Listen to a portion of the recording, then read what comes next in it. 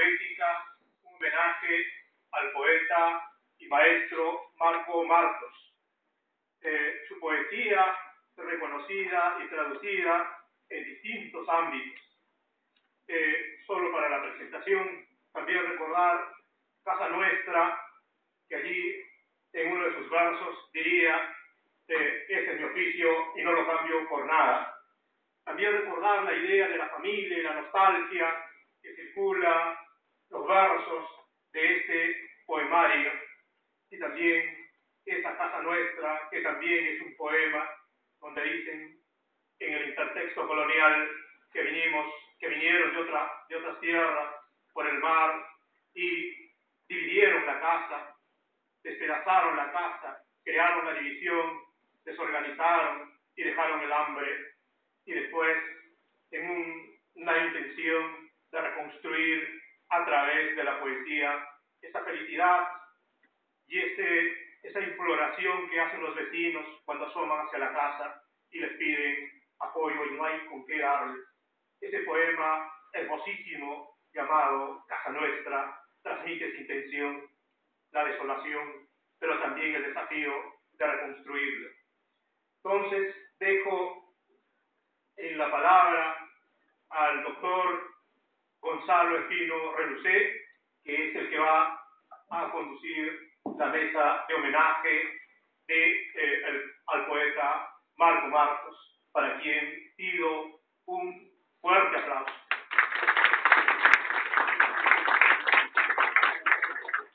Marco Marcos, Hace dos años Atrás celebramos la trayectoria poética de Eduardo Pérez, colega y maestro. Lo hicimos porque creemos en la poesía como un territorio donde se piensa mejor la libertad. Sin duda, reconocemos una práctica que responde a nuestro cerco humanismo. Al volver sobre la materia de nuestra disciplina, cierto, concepción, no porque Celebrar es reconocer la creación poética como una de las manifestaciones más sensibles de la es de por sí un homenaje, pero lo hemos llamado celebración poética, para quitarle ese sello solemne y más bien acercarnos a reconocer al poeta, al colega, al amigo, al académico, que participa de la vida cotidiana de la universidad, que ha alcanzado el prestigio y el reconocimiento de la crítica. Eso que nosotros podemos llamar canon, campo literario, celebrar después un acto de ejercicio poético. Lo hacemos porque nos seduce la transparencia que suele traernos a la poesía. Por eso hoy celebramos la poesía de Marco Marco. Mi escuela y la poesía. Tuve la suerte de tener en mi colegio a, jóvenes maestros, maestros que estuvieron vinculados al espacio poético de Trujillo, a la revista Colibrí. Mi maestro y amigo ahora, Luis Tremendo, solía llegar todas las semanas con libros que leíamos con cierta devoción. Nos animábamos en actos públicos. Recuerdo que una mañana de mayo, después de su clase, nos habló a un grupo de muchachos y chicas de un poeta piurano que vive y trabaja en Así lo dijo. Yo recuerdo que nos habló también del, del ajedrecista, pero sí recuerdo con certeza que sacó de su maletín de cuero, Casa Nuestra, y cuaderno de quejas que rápidamente cogimos para leer. Y de ellos seleccionamos tres poemas que declamamos una velada en mi colegio. A la gente le gustaba, había algo que le llamaba la atención a los pobladores de Roma Durante. Estos maestros fueron los que nos llevaron a este destino que es la poesía. Fue gracias a ellos que tuve la extraña suerte de estar junto a poetas como Yolando Pérez, Marco Cristóbal y otros.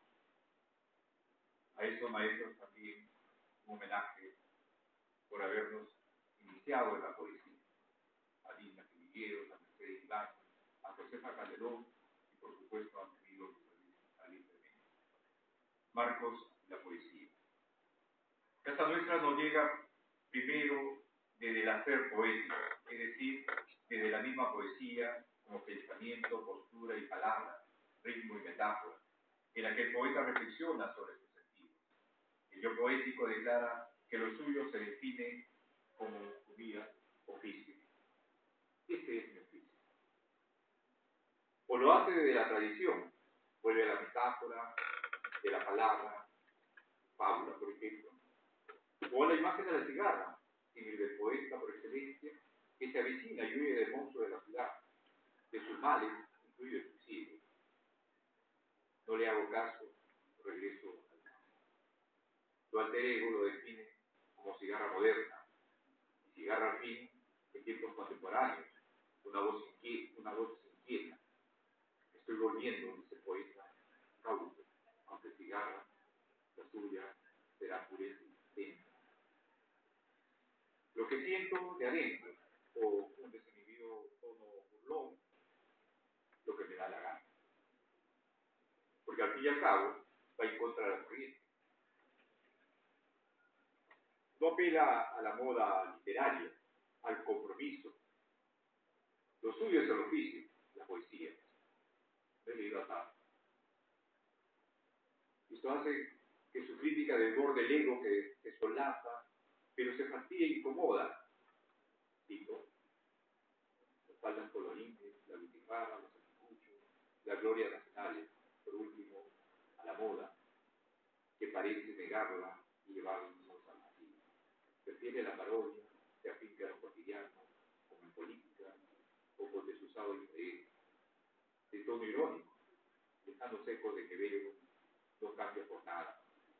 Cito, escribo para calmar mi nervio, y estos primeros textos hablan de la poesía, lo hace también desde un tono particular, en decidido momento en que se sabe poeta y al mismo tiempo un sujeto poético, un sujeto poético que resulta novedoso.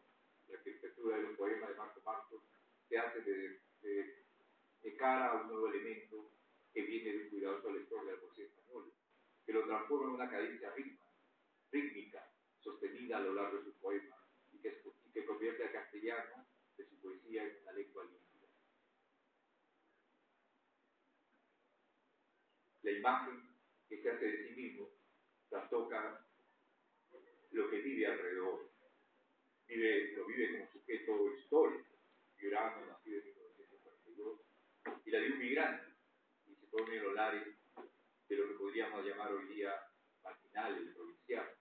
Por eso dirá, soy malo, pero trato de arreglar. Lo que sería lo mismo a convivir con ese mundo que es la ciudad, exactamente la comprensión de su mundo, que sin duda